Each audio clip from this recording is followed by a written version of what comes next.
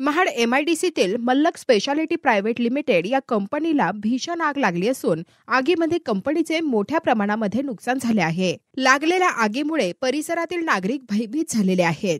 यात अद्याप कोणतीही जीवितहानी झाली नसल्याची प्राथमिक माहिती सूत्रांकडून प्राप्त झाली आहे. वारंवार एमआयडीसीतील कारखान्यांना लागणाऱ्या आगीचे प्रमाण वाढत चाललेले असताना सर्व कंपन्यांची ऑडिट करण्याची गरज असल्याचे बोलले जात आहे.